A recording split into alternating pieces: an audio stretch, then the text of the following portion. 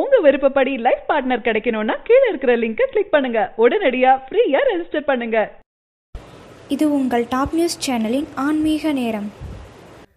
கோவில்களில் தினம்தோறும் நடத்தப்பட்டு வரும் பூஜைகளினாலும் மந்திர உபசரிப்புகளினாலும் மணி மேலதாளம் மற்றும் நாதஸ்வரம் போன்ற சப்தங்களினாலும் பல அற்புத சக்திகள் கோவில் முழுவதும் இருக்கிறது என்பது விஞ்ஞான ரீதியாக நிரூபிக்கப்பட்ட உண்மை.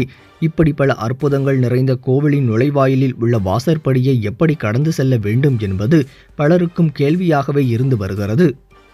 கோவிலுக்குள் செல்லும் அனைவரும் கால்களை நன்கு கழுவிவிட்டு செல்வது வழக்கம். ஆனால் அப்படி செய்யும் அவர்களுக்கு கோவிலின் வாசற்படியை மிதித்து செல்ல வேண்டுமா அல்லது தாண்டி செல்ல வேண்டுமா என்று யோசிப்பது வழக்கம்.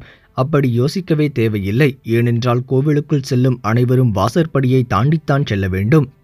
அப்படி தாண்டிச் செல்வதற்கு முன் ஒவ்வொருவரும் குனிந்து நமது வலது கை விரல்களால் படிகட்டை தொட்டு புருவ மத்தியில் அஞ்ஞான சக்கரம் உள்ள இடத்தில் அழுத்த வேண்டும். அப்படி செய்யும் போது நமது உடலானது நேர்மறை ஆற்றல்களை கிரகிக்க உதவுகின்றது.